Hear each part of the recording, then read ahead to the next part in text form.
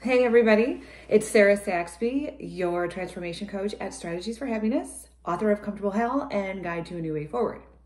Today I want to talk about those of you out there, and I'm going to say women because that's where I'm coming from. Swap it out if you want to, don't care.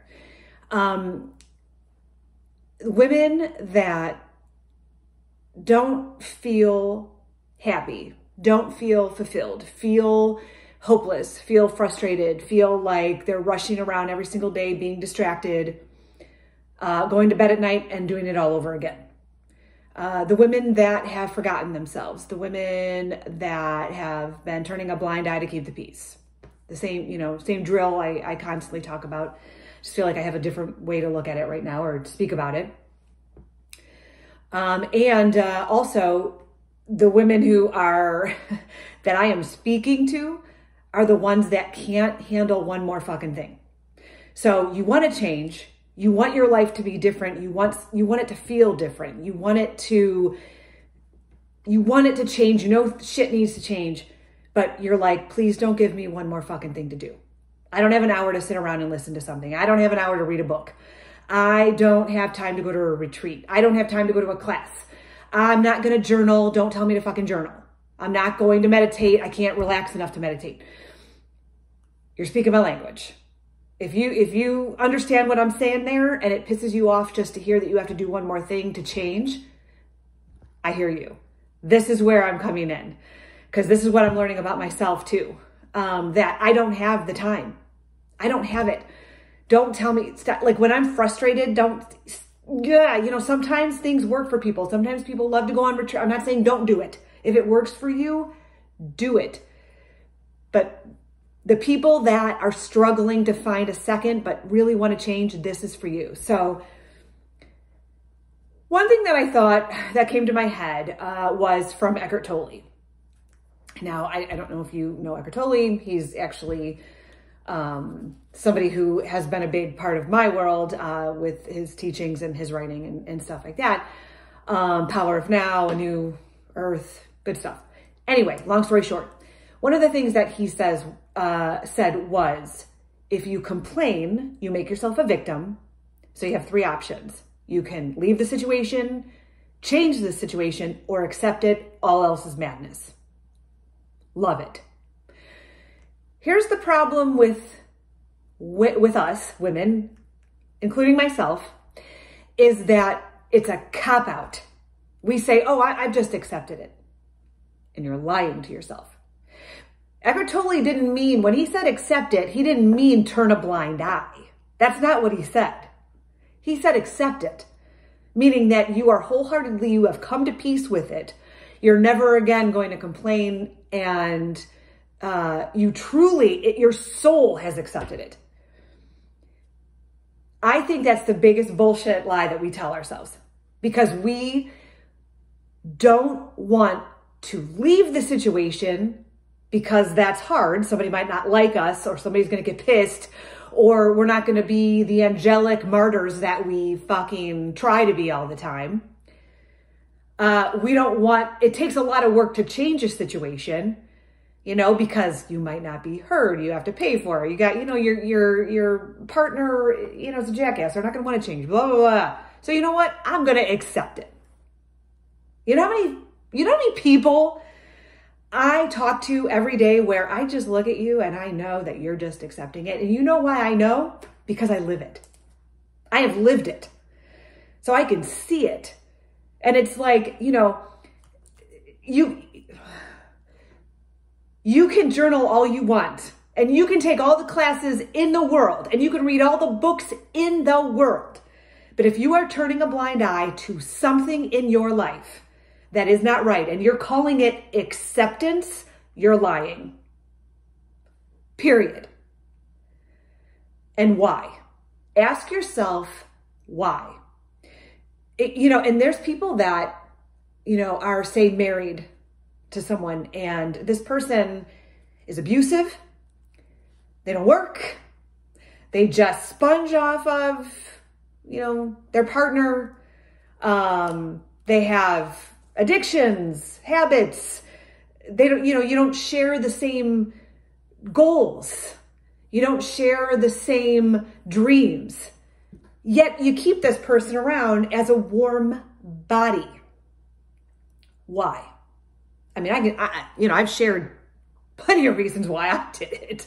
You know what I'm saying? Now I'm in that that that transition mode where I'm trying to figure out why the fuck I was able to put the blinders on and live in a particular way that I never liked. I and I've said this before, I have never ever been myself ever in my life because of people because of people around me. Purely because I don't want to upset them. I don't want to lose them. I don't want someone to think that I'm a jerk. I don't want that someone to think I'm a bitch. Um, you know, my God, what if what if I have to start over by myself? What's worse? What's worse? Getting to know yourself and starting in, in, in, you know, opening up this new path that's scary, but like or or you know like just lying to yourself every day waking up and you know brushing something under the rug that you know you know like i said i i just i i know these women that you know they're in abusive relationships clearly they don't live you know they they've taken on the hopes and dreams of their partner, or they're just kind of cruising along and they won't even look at it. They won't even look that that's the one thing they won't touch. They're just like, "Oh, well, this is my this is my husband and, you know, oh, you know, uh, it's okay. It's fine. It's. Everything's fine." But you know it's not. You know it's not. And so you say, "Well, I've just I I found my peace with it." Bullshit. prove it. Prove that you know you're waking up every day and you have somebody with you that is is your biggest cheerleader. Is your partner your biggest cheerleader? Do you do some really fucked up things sometimes and they're just like, girl, come on. Like, I got you. I got you on this. I know, you know, you can be a little crazy, but I got you. I got you. You know, do they support, you know, it's like it's kind of like you know you you you're you love traveling by yourself sometimes you know it's like something that you just has always fulfilled you and you, you end up with a partner that's like yeah that's not right you're not doing that anymore and you're like okay well you know I'd, I'd rather be with this person than not. It's balance people. It's not it's not you give up everything and turn it you know just to keep the peace and to keep this person as a warm body. Why are you lying to yourself every day?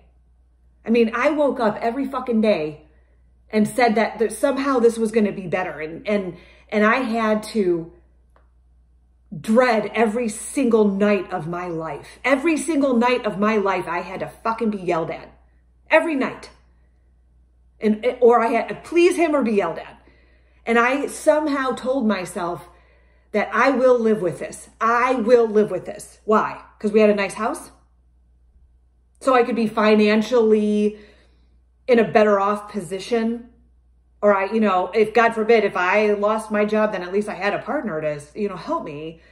But I was okay with it. I was okay with, you know, never being taken care of and always being bitched at if anything was wrong with me, you know, but, but I was like, that's okay. It's not okay. It's not okay that I was living like that. And, but this is what we're doing. And so when I say, I know you don't have any more time to contribute to your transformation, I get it because I felt like it was just one more thing, but I'm telling you, it doesn't have to be anything major. You don't have to go on a three day retreat. If you want to, do it because I'm sure it'll be amazing. But if it feels exhausting and daunting and you're like, please don't fucking tell me to go on a retreat, I can't